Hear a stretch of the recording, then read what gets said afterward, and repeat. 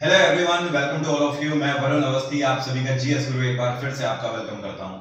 दोस्तों, प्रधानमंत्री नरेंद्र मोदी जब से यूरोप की यात्रा पर से आए हैं, तब से एक वर्ड बहुत ज़्यादा वायरल हो रहा है और ये वर्ड है नॉर्डिक आप सभी का मुझसे सवाल पिछले कुछ टाइम से आ रहा है कि सर नॉर्डिक कंट्रीज़ क्या होते हैं?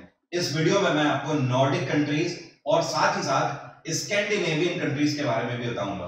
तो दोनों ही ग्रुप ऑफ़ कंट्रीज़ हैं, दोनों में कुछ डिफरेंसेस हैं और दोनों के बारे में समझेंगे। नॉर्डिक कंट्रीज़ क्या होते हैं और स्कैंडिनेवियन कंट्रीज़ क्या होते हैं? तो सबसे पहले हमारे सामने ये है ग्लोब और ग्लोब में आपको भारत इस टाइम पर दिख रहा होगा। ये है हमारा प्यारा भारत। अब इससे वेस्ट की ओर चलना शुरू कर दो, क्योंकि बोलते हैं ना कि पिछले कुछ टाइम में भारत में पाश्चात्य सभ्यता बहुत ज़्यादा आ चुकी है। तो वेस्ट की तरफ़ चलना शुरू करते हैं, तब हमें यूरोपियन कंट्रीज़ मिलेंगे। इधर आप जैसे ही वेस्ट में आते हो तो ये आपके गल्फ कंट्रीज़ हो गए और ये आपका अफ्रीका हो गया। आपको अफ्रीका के जस्ट ऊपर जाना है क्योंकि यूरोप अफ्रीका के जस्ट ऊपर है। क्योंकि आप जैसे ही आगे निकल जाओगे तो ये देखिए, ये आपको अमेरिका मिल जाएगा, ये नीचे साउथ अमेरिका है और ऊपर ये नॉर्थ अमेरिका है। तो वापस से आ जाओ यहीं पर और अफ्रीका के ऊपर चलो। जैसे ही आप अफ्रीका के ऊपर आओगे तो यहाँ पर आपको जैसे ही ग्लेशियर दिखने लगे, इसको कर दो जूम और यहाँ पे आप पर्टिकुलर उस जगह पे पहुँच गए जहाँ पर आपको क्या दिख रहा है? स्कैंडिनेवियन कंट्रीज़ और नॉर्डिक कंट्रीज़ अब सबसे पहले तो आप बात ये समझो नॉर्डिक कंट्री जो है, ये पाँच देशों का समूह है। मैंने क्या बोला? नॉर्डिक कंट्री पाँच देशों का समूह है। इनमें कौन कौन से देश आते हैं? नॉर्वे डेनमार्क स्वीडन फिनलैंड और आइसलैंड मतलब नीचे वाले सारे ये हटा दो, इतना आपको देखना है। डेनमार्क नॉर्वे स्वीडन फिनलैंड और आइलैंड आइसलैंड इतना आपको ध्यान रखना है यहाँ पर। अब इसमें से स्कैंडिनेवियन कंट्रीज़ कौन से हैं? स्कैंडिनेवियन कंट्रीज़ में तीन देश आते हैं। कौन कौन से? बीच के तीन देश।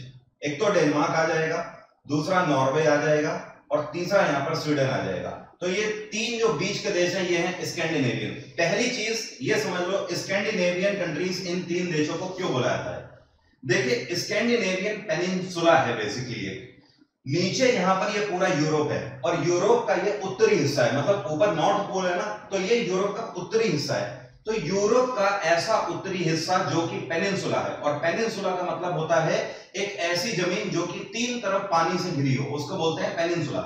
जैसे कि हमारा दक्षिण भारत है, ये भी एक अपने आप में पेनिनसुला है।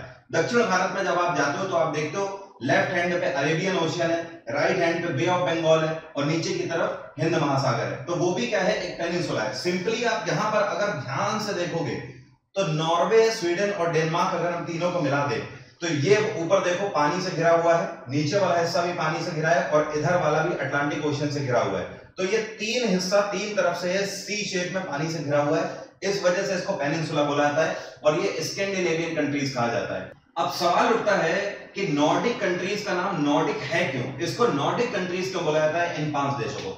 देखो, पुराने टाइम पे जब इनके इतिहास की बात करें, करीब नवी शताब्दी के आसपास मतलब 1000 एडी के आसपास की अगर बात करी जाए तो उस टाइम पर इन सभी देशों में डेनमार्क इनकी कैपिटल हुआ करती थी। इसकी कल्चर लैंग्वेज ये यहाँ पर सबसे पुरानी है। मतलब इन सभी देशों में अगर आप देखोगे, इस पूरे रीजन में देखोगे तो डेनमार्क एक ऐसी जगह है यहाँ पर जिसकी सभ्यता सबसे पुरानी है। एग्ज़ाम्पल के तौर पर जैसे हम मान लेते हैं, भारत के अंदर सबसे पुराना शहर कौन सा है? तो केवल भारत के नहीं, पूरे विश्व के अंदर सबसे पुराना शहर वाराणसी माना जाता है, बनारस। तो विश्व का सबसे प्राचीन शहर इसको बोला जाता है। तो अल्टीमेटली जो भारत की सभ्यता आपको देखने को मिलती है वो कहाँ से? सारनाथ से मतलब जिसको आज आप वाराणसी के नाम से जानते हो। सिंपली जब आप इन देशों को देखते हो तो यहाँ पर वही स्थिति डेनमार्क की हुआ करती थी। तो डेनमार्क के नाम पर इसका नाम नॉर्डिक रखा गया है। नॉर्डिक का मतलब डेक का मतलब डेनमार्क यहाँ पर, और नॉर का मतलब डेनमार्क के जितने भी नॉर्थ वाले कंट्रीज़ हैं, उन सभी को नॉर्डिक कंट्रीज़ के नाम से जाना गया। तो डेनमार्क के नॉर्थ में आपको नॉर्वे भी दिख रहा है, ऊपर उत्तर की तरफ़ स्वीडन भी दिख रहा है, फिनलैंड भी दिख रहा है, और आइसलैंड भी दिख रहा है। इस वजह से ये सारे कंट्रीज़ क्या कहे जाते हैं? Nordic countries. अब एक चीज़ और समझिए, ये तो बेसिक यहाँ पर कंट्रीज़ है मतलब प्रॉपर कंट्रीज़ हैं जिनमें पॉपुलेशन भी है एग्रीकल्चर भी है, इनकी एक अच्छी अर्थव्यवस्था भी है, सब कुछ है। इसके अलावा आप थोड़ा सा ऊपर अगर और जाते हो तो यहाँ पर आपको मिलेगा ग्रीनलैंड ग्रीनलैंड भी नॉर्डिक कंट्रीज़ में ही शामिल है। हालाँकि ये फाइव बेसिक कंट्रीज़ में इसलिए नहीं बोला जाता है क्योंकि ग्रीनलैंड का ज़्यादातर हिस्सा बर्फ़ से ढका हुआ है और यहाँ की जो पॉपुलेशन है, इतना बड़ा एरिया होने के बाद भी केवल पचपन हज़ार के आसपास की इसकी पॉपुलेशन है। अब इसके अलावा अगर बात करी जाए तो नॉर्डिक कंट्रीज़ में दो और चीज़ें आती हैं। मतलब यहाँ पर जैसे ही आप नॉर्वे के इधर की तरफ़ आओगे, नीचे ब्रिटेन हो गया, ऊपर नॉर्वे हो गया, इसके बीच का जो ये वाला हिस्सा है, यहाँ पर बहुत छोटे छोटे आइलैंड्स हैं। इन सभी आइलैंड्स को फॉरे आइलैंड्स कहा जाता है। क्या बोला जाता है? फॉरे आइलैंड ये भी नॉर्डिक कंट्रीज़ का हिस्सा है। और इसके बाद यहाँ पर फिनलैंड और स्वीडन के बीच में जो ये आपको हिस्सा दिख रहा है, यहाँ पर भी छोटे छोटे आइलैंड है। इन सभी को ए आइलैंड के नाम से जाना जाता है, या फिर ए लैंड के नाम से जाना जाता है। अब ए लैंड इसको क्यों बोलते हैं? यहाँ पर ए का मतलब है ऑटोनॉमस और ऑटोनॉमस अथॉरिटी इन सभी आइलैंड की किसके पास है? फिनलैंड के पास है। तो अब एक बार फिर से समझ लो नॉर्डिक कंट्रीज़ क्या क्या हुए? डेनमार्क के नॉर्थ में जितने भी कंट्रीज़ हैं, उन सभी को नॉर्डिक कंट्रीज़ बोला जाता है। ये हमारा हो गया डेनमार्क तो डेनमार्क तो पहला कंट्री हो गया। दूसरा हो गया नॉर्वे तीसरा हो गया यहाँ पर स्वीडन चौथा हो गया फिनलैंड और पांचवा हो गया आइसलैंड ये पाँच तो प्रॉपर आपको दिखाई दे रहे हैं। इसके अलावा मैंने आपको बताया ग्रीनलैंड भी आ जाता है। इसके अलावा नॉर्वे के इधर बराबर में यहाँ पर जो छोटे छोटे आइलैंड है, इनको फेरो आइलैंड बोला जाता है। ये भी नॉर्डिक का ही हिस्सा है। और फिनलैंड और स्वीडन के बीच में जो छोटे छोटे आइलैंड है, ये ए लैंड कहलाते हैं। ये भी नॉर्डिक का ही हिस्सा है। इन सभी कंट्रीज़ का आपको जो इतिहास है, वो हमें देखने को मिलता है ईसा मसीह के जन्म के बाद। हालाँकि अगर इतिहास की बात करी जाए तो करीब 1000 एडी के आसपास, जिस टाइम पर भारत में महमूद गजनबी ने आक्रमण किया था, उस टाइम के आसपास स्वीडन के द्वारा फिनलैंड में कब्जा कर लिया जाता है। और जब ये कब्जा कर लेते हैं फिनलैंड को तो उसके बाद 1200 के आसपास करीब 100 से डेढ़ सालों तक कब्जा करने के बाद इनकी जो इमेज है, ये इन नॉर्डिक कंट्रीज़ में खराब होने लगती है। किसकी? स्वीडन की। क्यों? क्योंकि भैया तुमने दूसरे का घर हथियार लिया है तो तुम्हारी कंडीशन तो खराब होगी होगी ना। इमेज तुम्हारी खराब होगी। जिसकी वजह से स्वीडन के साथ कोई भी देश यहाँ पर व्यापार नहीं करने लगता है। मतलब डेनमार्क इनको बाइकआउट करने लगता है, नॉर्वे भी इनको बाइकआउट करने लगता है, और आइसलैंड के लोग भी इनको बाइकआउट करने लगते हैं। काफ़ी टाइम के बाद जब स्वीडन की इकोनॉमी इस वजह से ध्वस्त होने लगती है, क्योंकि आसपास के कंट्रीज़ इसको सपोर्ट नहीं कर रहे हैं, इन्होंने फिनलैंड पर कब्जा कर रखा है। फाइनली एक कंक्लूजन पर आया जाता है 1845 के आसपास, और ये कंक्लूजन होता है कि ये पाँचों देश हम मिलजुल कर रहेंगे, और इसके एवज में स्वीडन को फिनलैंड को आज़ाद करना होगा। फिनलैंड को यहाँ पर आज़ादी दे दी जाती है और ये सारे कंट्रीज़ एकजुट यहाँ पर हो जाते हैं। ज़्यादा दिन तक फिनलैंड की खुशी रह नहीं पाती है। उसके बाद रशिया के द्वारा यहाँ पर कब्जा कर लिया जाता है, क्योंकि इसकी सीमा रेखा रूस से लग रही है। रूस फिनलैंड के ऊपर कब्जा कर लेता है, लेकिन जब फ़र्स्ट वर्ल्ड वॉर होता है तो 1918 के आसपास जब फ़र्स्ट वर्ल्ड वॉर खत्म होने की कगार पर होता है 1919 में फ़र्स्ट वर्ल्ड वॉर खत्म हुआ था 1918 में रशिया की कंडीशन बुरी हो चली थी, और इनको फिनलैंड को आज़ादी देनी पड़ती है। फिनलैंड यहाँ पर आज़ाद होता है 1918 में।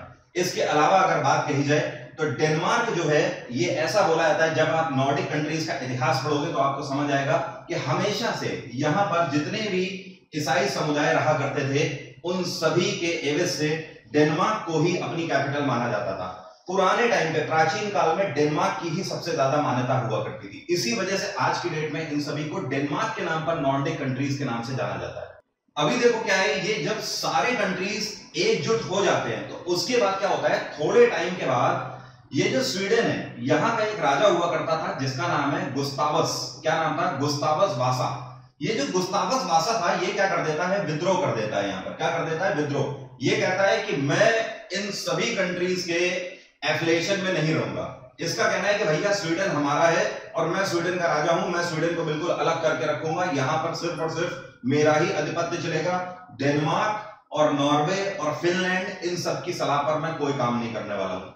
स्वीडन का जो राजा होता है गुस्तावस वासा, इसने क्या किया? स्वीडन को इंडिपेंडेंट डिक्लेयर कर दिया। हालाँकि यहाँ पर ऐसी कोई बात नहीं थी कि ये सारे कंट्री स्वीडन के ऊपर अपनी मोनोपोली चला रहे थे। लेकिन इसको सिर्फ़ और सिर्फ़ अपने स्वीडन से मतलब था, आसपास किसी भी देश की कोई भी एडवाइजरी तौर पर भी दखल अंदाजी नहीं चाहिए थी। अब जैसे ही स्वीडन का सम्राट गुस्तावस वासा क्या करता है? स्वीडन को इंडिपेंडेंट डिक्लेयर कर देता है। वैसे ही आप देख रहे हो, यहाँ से डेनमार्क और फिनलैंड की कड़ी टूट जाती है। नॉर्वे और फिनलैंड की कड़ी टूट गई, क्योंकि बीच में पूरा स्वीडन लगा हुआ है। इसकी वजह से आने वाले टाइम में अब स्वीडन क्या है? फिर से फिनलैंड के ऊपर क्या करता है? अपना कब्जा दिखाने लगता है। स्वीडन और फिनलैंड के जो राजनीतिक संबंध है, वो उसी टाइम पे बढ़ने लगते हैं और ऐसा 1816 तक चलता है।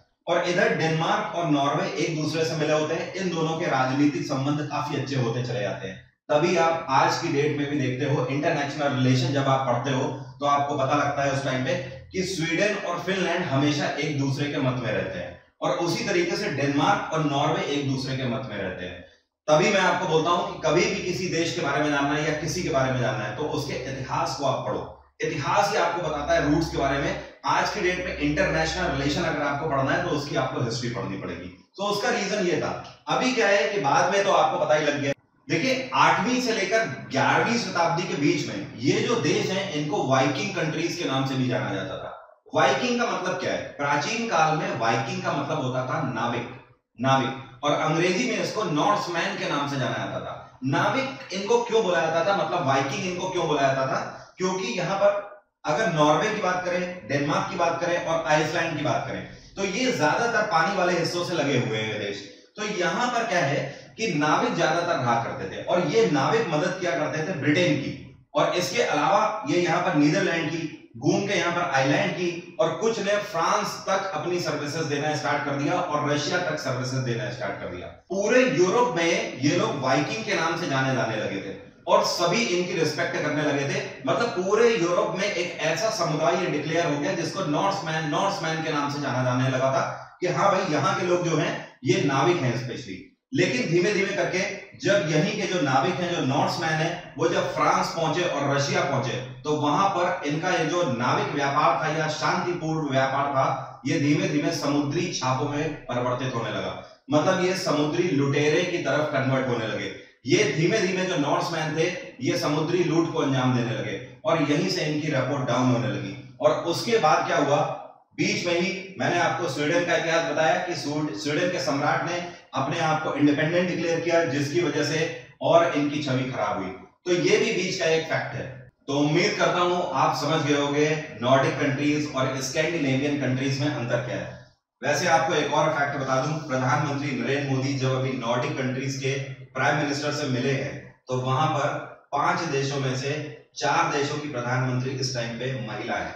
अब ये चार देश कौन कौन से हैं जिनकी प्रधानमंत्री महिला है? एक तो डेनमार्क की प्रधानमंत्री एक महिला है स्वीडन की प्रधानमंत्री महिला है फिनलैंड की प्रधानमंत्री महिला है और आयरलैंड की प्रधानमंत्री भी महिला ही है।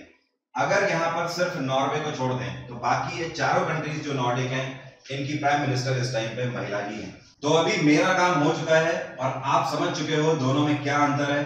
अब आपका काम है, जिनको नहीं पता है नॉर्डिक कंट्रीज़ और स्कैंडिनेवियन कंट्रीज़ के बारे में, ये वीडियो तुरंत जाके उनको शेयर करिए। और उन्हें भी पता लगना चाहिए क्या डिफरेंस है नॉर्डिक और स्कैंडिनेवियन कंट्रीज़ में और क्या इनका इतिहास कहता है। उम्मीद करता हूँ वीडियो आपको पसंद आया होगा। लाइक का बटन ज़रूर दबाते जाइएगा। Bye bye take care have nice day आपका दिन मंगलमय।